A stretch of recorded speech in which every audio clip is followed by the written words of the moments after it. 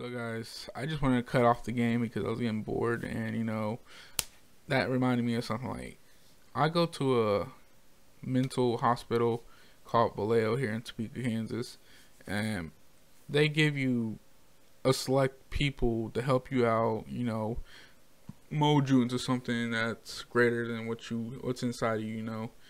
And basically people to basically teach you how to deal with your illness or what's going on.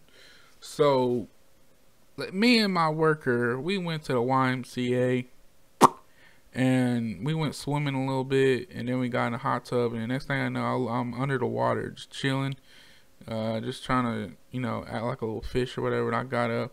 This dude's full on pull off his towel. Not my worker but this dude whoever it was dropped his fucking towel and this nigga had a small ass dick, like literally, dick looked like it like fucking shriveled up or some shit. Like he been fucking, you know, doing it, doing something.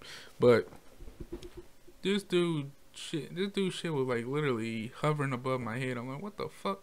I jumped out of that bitch. Okay, I, I, I've never moved that fast on water before. Cause literally, why? You see two dudes already chilling. You know, nobody want to see your junk I can understand if you were skinny dipping with your fiance or you know someone you love, but you know you don't do that for near strangers. That's a little strange, man.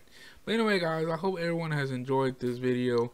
I try to make it as fun as possible, but I have more coming out, so everyone stay tuned for more. Thanks for watching. Peace.